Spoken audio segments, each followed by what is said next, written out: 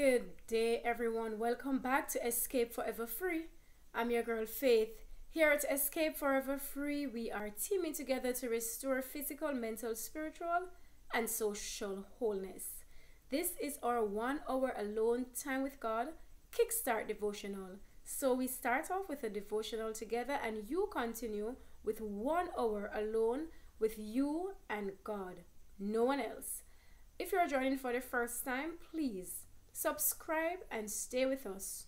Also, do remember to click the like icon at the end of this video while you're viewing it on YouTube to help to spread this gospel for others to come and share in the light. Let us begin with prayer as we go into our one hour devotional kickstart routine. Father, we thank you for another day that you have given us to worship you. We pray that as we come before you, you'll empty us of all of our sins. We beg this morning, please give us your Holy Ghost fire baptism because we need it in the time that we're living in. We need it in preparation for the early rain, so we will be ready also to receive the latter rain when you start to pour it out on your people for these last days events. Father, make us keep us faithful and make us wise and surrendered, we pray, through your Holy Spirit's guidance. In Jesus' name, Amen. We go straight into our memory text for this week, which comes to us from Hebrews 1 verses 2 to 3. And it says, Have in these last days, sorry, Hebrews 1 verses 2 to 3, have in these last days spoken unto us by his Son, whom he hath appointed heir of all things, by whom also he made the worlds, who being the ex being it being the brightness of his glory and the express image of his person and upholding all things by his by the word of his power. When he hath by himself purged our sins sat down on the right hand of the majesty on high.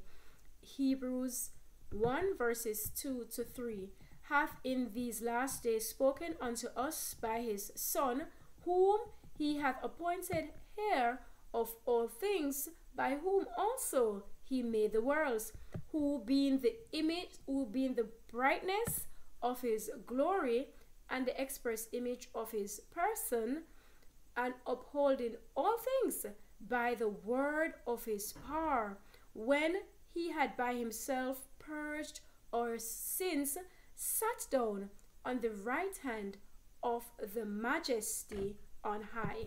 May God help us to commit this to memory as we seek to glorify His name and edify souls, even our very own. This morning's Maranatha reading is entitled God's Law Appears in Heavens, in the Heavens. The key text for this morning's reading is Psalms 50 and verse 6. And it reads, And the heavens shall declare his righteousness, for God is judge himself. The reading God's law appears in the heavens. The clouds sweep back and the starry heavens are seen, unspeakably glorious in contrast with the black and angry firmament on the on either side. The glory of the celestial city streams from the gates ajar. In the temple will be seen the Ark of the Testament, in which were placed the two tables of stone on which are written God's law.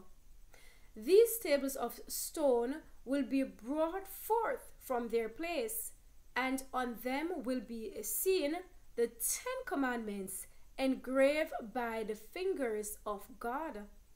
These tables, these tables of stone now lying in the Ark of the Testament will be a convincing testimony to the truth and binding claims of God's law.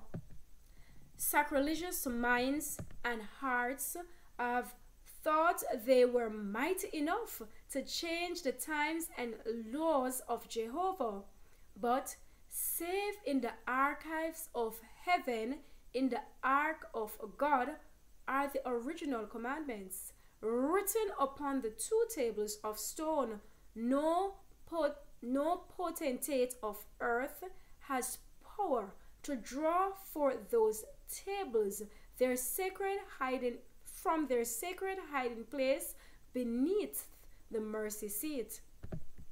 There appears against the sky a hand holding two tables of stone folded together.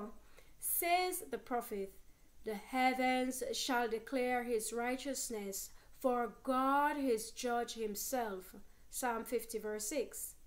That holy law, God's righteousness, that amid the thunder and flame was proclaimed from Sinai as the guide of life, is now revealed to men as the rule of judgment. The hand opens the tables, and there are seen the precepts of the Decalogue, traced as with a pen of fire. The words are so plain that all can read them. Memory is aroused. The darkness of superstition, superstition and heresy is swept from every mind. God's 10 words, brief, comprehensive, and authoritative, are presented to the view of all the inhabitants of the earth. It is possible it is impossible to describe the horror and despair of those who have trampled upon God's requirements. The enemies of God's law, from the ministers down to the least among them, have a new conception of truth and duty. Too late, however, they see that the Sabbath, the fourth commandment, is the seal of the living God. This morning's devotional, God's law appears in heavens, in the heavens, speak of the prophetic revelation and the literal um revealing to all minds and all people the fact that the Ten Commandments are sacred and that they are the binding law of God which remains forever and ever. However, as the devotional said, too late would have been the cry, would have been the recognition, would have been the desire to give prudence to these laws. Now, while probation lasts. May we read the scriptures to understand the requirements of God that He has set out in the Ten Commandments, our blueprint for life and this on this earth and also eternal life in heaven. May we see true, genuine understanding of the Ten Commandments and may we follow them diligently. May we also understand the connection between this fourth commandment, the seventh day Sabbath, and the sealing of God's people for eternal life. Help us to under may the Holy Spirit help us to understand the true author, the true supreme ruler of this earth and of these words and truth and light, and may we come into them fully surrendered, so that when these days come for us, there will be glory and not terror. May God help us all so to find these truths. We go now to our motivational hymn, which is number 218 for this week, as we try also to commit it to memory. When He cometh, stanza 3.